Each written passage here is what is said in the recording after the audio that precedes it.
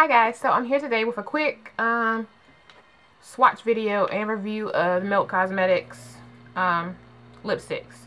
So I'm going to show you a swatch of the three colors that I have. The top one is 666. This is by Starlight. And this one is DGAF. Um, as you can see, they're really, really pigmented. They're, they're bright colors. Um, they're mattes, but they do have some sheen to them. So I'm going to go ahead and show you what they look like on me. So guys, this is 666 and this is what it looks like on me. So, um, it kind of looks like a lot of colors that I already have already. Um, the only reason I got it was because on the promo pictures, it looked like a really deep, dark black and red color.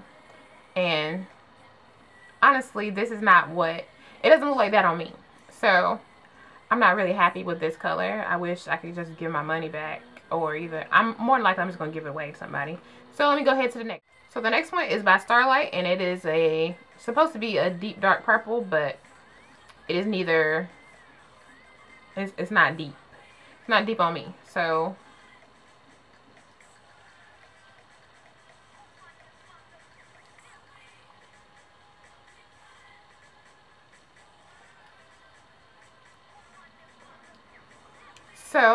you can see this color.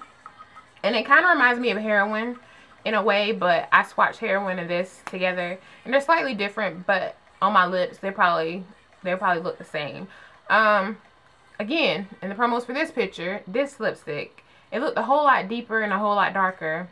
Yes, I understand color theory. Yes, I understand that they're lighter than me, that the people they use for all these pictures are white women. So the colors may tend to look a little bit different. But usually when I get other lipsticks from other companies, they tend to still look the same on from each person to person. Unless it's just, I, I don't know. So, I mean, I like the color. I like the color still because I like purples like this, but it's not what I was wanting. So, that's my only flaw with this. Color is actually my favorite out of the bunch, and it is a blue. It is a really, really pretty royal blue.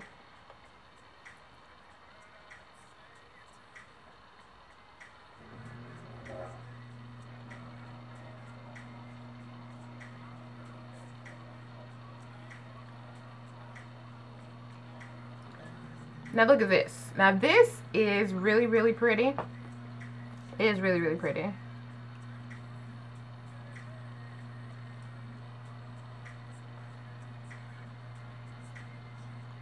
Now this color, I mean, yes, it's not gonna be, it's not gonna be pretty to everybody, but to me, I really like it, and I can't wait to find somewhere to actually just be able to wear this. And wearing something like this I would probably do what I look like I have on right now. It's really, really simple with a little bit of glitter, a little bit of pop to it, but it's still a neutral look because your your lip is kind of taken away, taking the focus on the whole face. So you don't want to really add more on top of it. So, I really love this color and even though I don't like the other colors that I purchased from them, I would buy this color again just because. And I'm really tempted to try Space Cake. It's that gray color they have. But I just, I don't know. More likely I'll end up getting it eventually. Because, but I, I'm never going to fall for that little 666 hype and the, the By Starlight hype. Again, I'm not going to do that. But I really love this color. So, all in all, at least something worked for me. So, that's good. That's, that's, that's the only good thing out of this. So, I hope you guys enjoy the video. And I'll see you soon with more reviews and more tutorials. And hopefully I'm going to go, we'll start to do some more hair tutorials again. Um, and things of that nature. So, thanks for staying.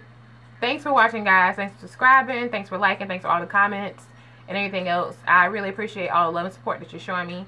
So, I'll see you soon. Bye.